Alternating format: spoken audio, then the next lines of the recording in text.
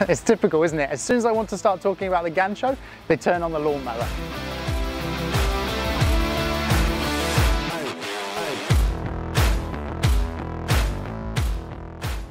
Hi guys, Sandy from the Padel School here. In this video today, we're going to talk about an overhead that is not often discussed, but is used at the top level all the time, and that is the gancho. That is actually the Spanish word for it. It's a shot that you hit over your head like this. And we're going to talk about why you should use it, when is an effective time to use it, and where you should be aiming with this shot. One of the biggest challenges I found coming to padel was with the overheads. Yeah, there's obviously a wide variety, different purposes, intentions, things like that. So let us know down in the comments what you find difficult about the overheads and we'll see if we can actually make a video to help your game. So in this video, we're going to explain why this shot, the Gancho, can actually really transform your overhead game. And it's often because players learn the bandeja at the beginning, which I absolutely agree with. I think it's the, you know, probably the most important one to learn from the beginning. And they get so comfortable with this shot that they're trying to use it for any ball that comes up with a lob. Now, I know if you're learning this bandeja at the moment and you're finding it difficult, trust me, one day you will get comfortable with your bandeja, even if you're not now. Um, and then what happens is, whenever the lob goes up, they're always running around underneath the ball to play the bandeja, when really, so often, they could use this shot to keep their opponents in the corner and to regain their position. So the intention of this shot is like the bandeja, yeah? So the ball is coming over you as a lob and it's usually coming to your left side and you play this shot to regain your net position. You play it at a medium to low speed to force your opponents to the back of the court and give them a difficult ball so that you can then kind of capitalize and get that net position back.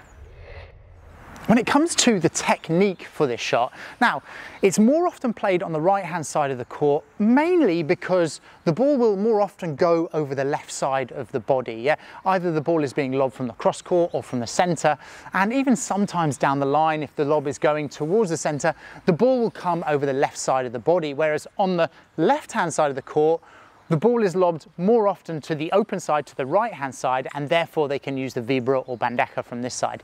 So this ball is going over to the left side. You immediately go into this overhead position yet where you turn your shoulders, you lift your arms up, and instead of moving your body to the side of the ball and playing a bandeja, you actually end up playing over the top of your head with a straighter arm and making sure that you contact in front of you, contacting slightly down and hitting through the ball. Yeah, that is the kind of technique for this shot.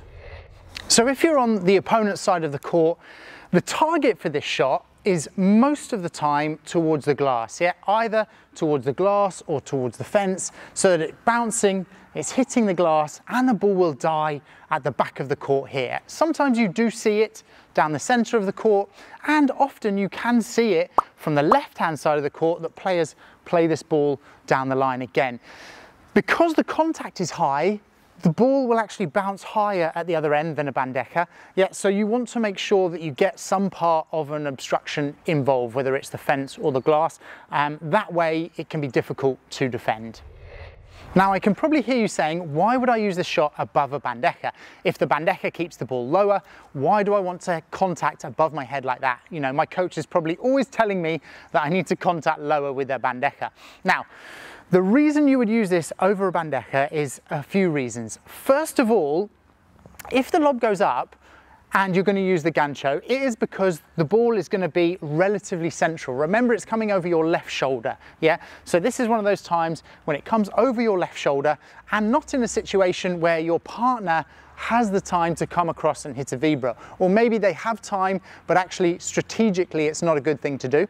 So this goes over your left shoulder, which means if you wanted to hit a bandeja properly, you would have to move all the way to the center to hit your bandeja. And that leaves a load of space for your opponents to hit into. It doesn't give you time to recover back to this position. So contacting the ball over your head like this means that you can actually regain your position a lot quicker and most of the time you're going to hit this cross court towards the fence and the glass like we mentioned and therefore your position will be two steps in front which is going to be a lot easier. The other difference is that if your contact is here versus a contact here, the difference of a few feet means that you can actually be further up the court, yeah? If because obviously the ball, the trajectory of the lob is coming down. If you want to contact the ball for a bandeja at this height, you know, you're gonna have to be, say, here on the court, whereas with the gancho, you can be two steps in front and contact higher. Therefore, you're closer to regaining your net position again. You also can get good force on this shot, and this is also why you see it so often at World Padel Tour level, because players use that lob over the left shoulder more often, they're a bit more accurate with the lobs, and you see this gancho at both men's and women's World Padel Tour level a lot. So if you want to bring the gancho into your game, one of the biggest things to do is to hit the shot with purpose, with intention. Yeah, because so often players learn this and they end up contacting kind of with the racket face open like this, and then it kind of floats up for your opponent, which is not the idea of this. The idea is you're getting into a position and contacting still in a kind of downward direction so that it's going to force them into that back corner. You still want the second bounce to be near that back glass if you can, yeah? So if you want to bring it into your game, any lobs, particularly if you're on the right hand side of the court, any lobs that kind of come down this channel, down the middle of the court, practice stepping over and hitting your gancho like that. And the more you practice, the better you will get at it. If you've got the opportunity to get someone to feed you a basket of balls, then it will be much easier because often it's difficult to practice these things in a match. Like we said at the beginning of the video, it can be difficult understanding the different types of overheads. So on this side, I'm gonna give a link to our overheads course where we go through all of the different overheads, the gancho included, and I'll also link to a video about the difference between the bandeja and the vibra, yeah, so that you can kind of learn more about the overheads so that you can put them into your game.